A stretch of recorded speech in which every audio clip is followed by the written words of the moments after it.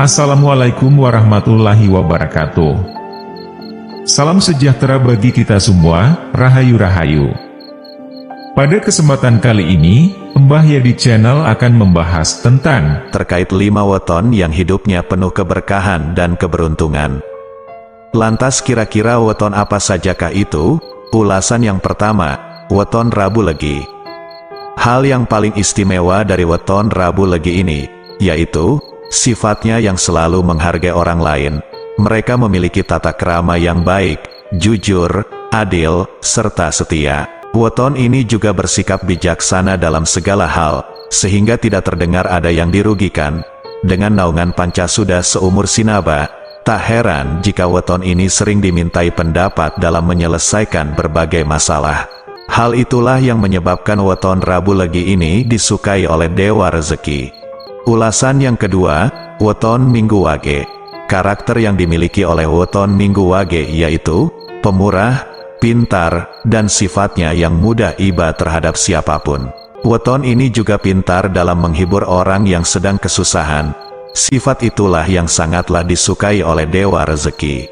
Weton ini pandai membuat orang lain bahagia. Orang dengan weton ini masuk dalam golongan orang-orang yang murah hati, sopan, dan tidak mau menyakiti hati orang lain. Ulasan yang ketiga, weton Senin Legi.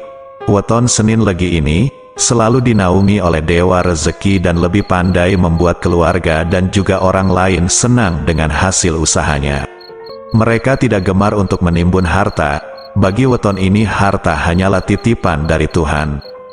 Walaupun weton ini sering berbagi, tetapi hartanya tidak pernah habis, justru malah semakin bertambah.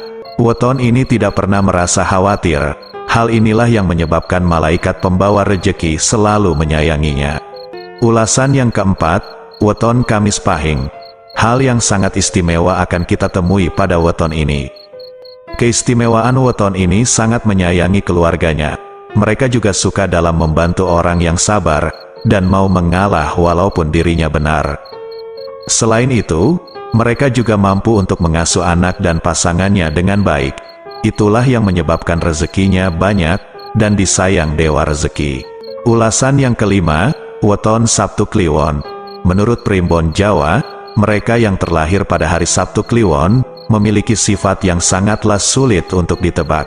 Weton ini sabar dalam menghadapi berbagai macam ujian, mudah untuk merasa iba, serta mudah terkesan. Weton ini pun juga memiliki ragam sanggar waringin, yang artinya memiliki hati yang sangatlah teduh serta sangatlah suka dalam memberikan perlindungan terhadap siapa pun. Weton ini juga mau mengalah dalam segala hal, setia terhadap pasangan hidupnya, serta mampu mengasuh keluarganya dengan baik. Nah, itulah video ulasan pembahasan mengenai lima weton yang hidupnya akan penuh berkah dan juga kejayaan, menurut Primbon Jawa. Terlepas weton itu akan mendapatkan rezeki dan keberuntungan atau tidak, semuanya tergantung dari ikhtiar dan doa masing-masing. Alangkah lebih baiknya, kita sebagai manusia, teruslah selalu berusaha menjadi yang lebih baik, ikhlas, tawakal, ikhtiar dan jangan lupa, terus memanjatkan puji syukur kehadirat Tuhan Yang Maha Kuasa, Allah Subhanahu wa Ta'ala. Sedulur semua harus ingat, ini hanyalah sekedar ramalan saja, yang mungkin kebenarannya tidaklah 100%. Sedulur boleh mempercayainya dan juga tidak, semua kembali kepada individu masing-masing. Sedulur juga harus ingat, rezeki, maut, atau apa pun yang terjadi pada kehidupan kita sebagai manusia, tidak akan pernah lepas dari campur tangan Tuhan. Karena Tuhanlah satu-satunya yang maha kuasa sang pencipta langit dan bumi serta segala isinya. Sedulur semua tolong bijaklah dalam menyikapi video ulasan ini, Semoga video ini bermanfaat, dan semoga video ulasan ini bisa menjadi tambahan pengetahuan sedulur semua.